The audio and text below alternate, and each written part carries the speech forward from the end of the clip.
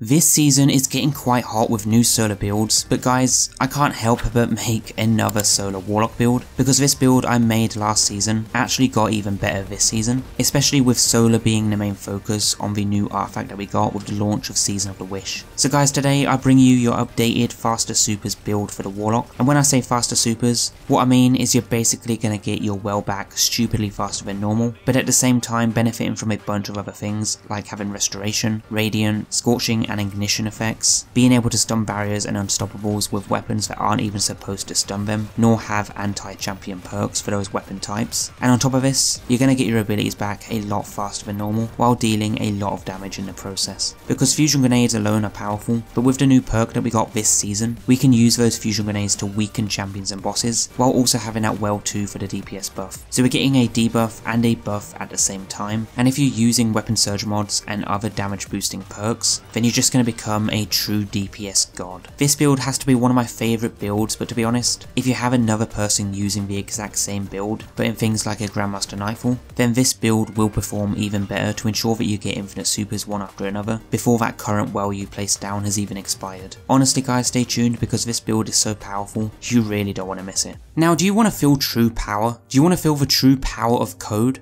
Well let me tell you guys about today's sponsor, Boot.dev. Now Boot.dev is an online self-paced learning service that takes learning back-end web development to the next level. It's almost as if you're playing an RPG game, but you're learning. With Boot.dev, you'll be learning code in the most smartest and unique way possible. You'll earn XP, levels, achievements, and complete quests to get on the global leaderboards, all whilst learning code at the same time. You'll get to learn back-end web development from start to finish in the Python and Go programming languages, which can open up amazing opportunities for you in the near future without needing to go to university. And according to Stack Overflow, the average salary for back-end developers in the US in 2023 was over $100,000. So it is a pretty good career to take on, and by using Boot.dev, you'll get to learn code in the most simple and effective way possible, while making it fun and cost effective. Meaning you can learn and work from home to make your dream a reality. And what I love most about Boot.dev is that they have such an amazing and active Discord community where you can talk to others who are learning and learn code together, or get help quickly if you're stuck on your coding challenges. The platform is designed to help you learn and write tons of code in the most fun way possible so that you don't get bored and give up,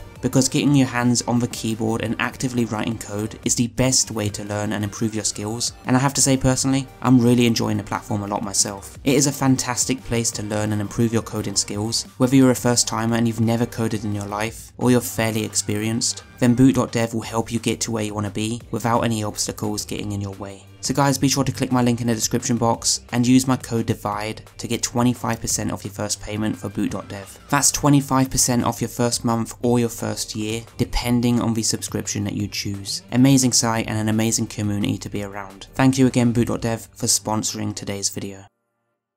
Now getting back into the video, if you guys do like this one and you want to see more top builds for Destiny 2 every season, then be sure to check out the full playlist down below because you might just find your new dream build. But for this one today, we're reworking the old Faster Supers build that we made last season using the Phoenix Protocol and updating it for this season for Season of the Wish. And what Phoenix Protocol does is return super energy from kills and assists that you make while standing inside your Well of Radiance, which caps out at 50%. So we will be placing down our wells and just getting kills while in side to get up to that 50% super energy. And then using other parts of the build we will be able to get the remaining 50% pretty quickly so that we can get these supers faster. But not only that we will also have a bunch of other benefits with the build too. So for any time that we don't have the super ready we'll be getting things like radiant and restoration constantly while we're working up towards getting that super back. And if you do have another person running this build with you you'll both be able to chain between those wells non-stop as long as you have ads around to kill to get that super energy from Phoenix. And to also generate the orbs. It is a build that's more ideal for GMs or harder content but while playing solo. You can just use this build for boss DPS if you want to, but I'd strongly recommend using the super when you know that you can get a few kills to get the majority of that super energy back, otherwise you will be waiting a little longer for it to recharge fully if you do just use it on a boss and only a boss.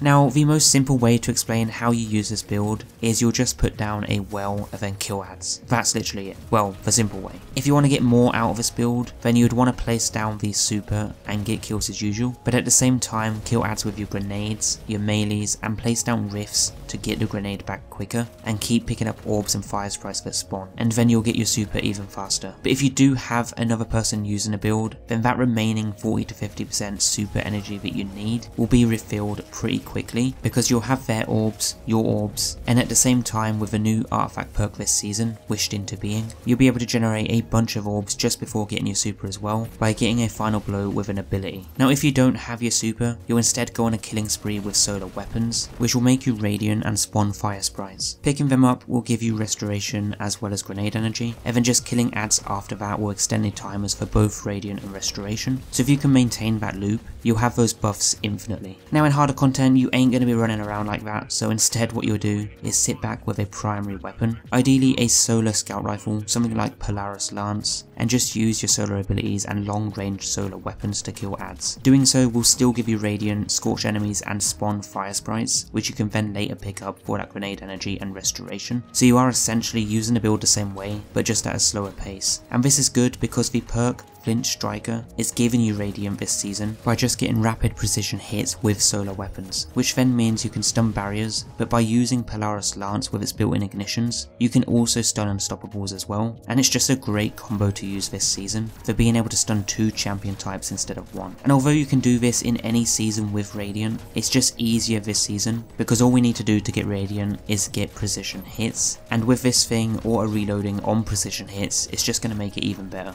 Now with this setup you are going to want to run a Well of Radiant Super in the Dawnblade Solar subclass, since we are dedicated to using that super, but for the Rift I am using a healing one as it's just better to use in harder content, a Celestial Fire melee but you can use what you prefer, and then a Fusion Grenade which I strongly recommend. For aspects we have Touch of Flame so our Fusion Grenade explodes twice, and since we are using the new artifact perk that weakens enemies with solar abilities, this is just going to allow us to deal even more damage. As for the second aspect, that doesn't really matter, I am just using the Icarus dash because it's generally something I like to use. And then fragments, there's actually two setups. For easier to higher tier content, you'd want to use Ember of Empyrean, Ember of Searing, Ember of Mercy, and Ember of Eruption. And the reason for this is because us killing scorched enemies through our solar weapons while radiant will allow us to spawn fire sprites, and then picking them up will give us grenade energy and give us restoration for our health regen. But then just getting kills with our solar weapons will extend those timers as well. And the way we'll scorch enemies will be by our solar weapons using the new artifact perk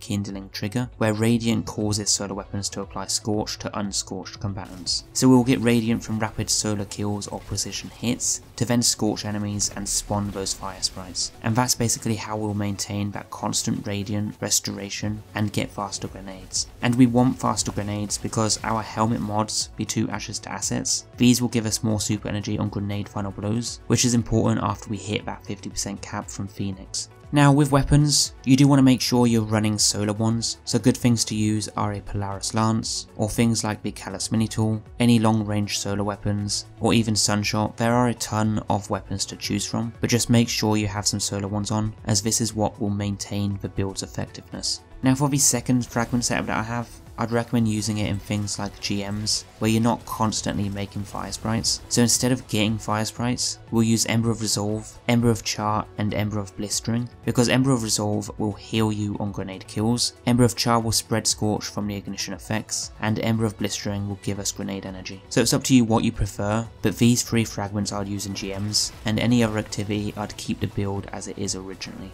Now there are a few mods we're using with this build which you do want to use, so we have a solar siphon in the helmet to spawn orbs, and you want these orbs because of the two grenade kickstart mods that we're going to use, which will give us more grenade energy when we throw it. Then every other mod that we have will just be cooldown mods that affect the grenade so that we can get them back quicker. Just make sure you have your free stats focused in resilience, recovery and discipline so that you can get those abilities back faster while also having more damage resistance in PvE content. This build is probably one of the easiest builds to use in Destiny 2 as a whole, because the only thing you really need to do as a minimum is get kills and assists while standing inside your well once you place down that super. And if you have a lot of ads around and teammates helping you, then this ain't going to be a problem. But everything else with the build on top is just going to make it even easier and better. Just make sure you have this build set up the way that I have, and it should do you a lot of favours. And if you are running this during Season of the Wish, then make sure to slot on these artifact perks too, as we do have quite a few helping us out. But if you don't want to use these artifact perks, or you're just using a build in a different season, then make sure you're running the second setup of fragments, because if you have no way of getting Radiant, then you won't be able to spawn those fire sprites, and you'll just be wasting a bunch of fragment slots for completely nothing. But either way, a really good build to use this season. But if this isn't the build for you, then make sure to check out the playlist down below for more. Otherwise, don't forget to head over to boot.dev with my juicy discount code using my link below or on screen now, so that you can begin your new coding adventures. And until next time,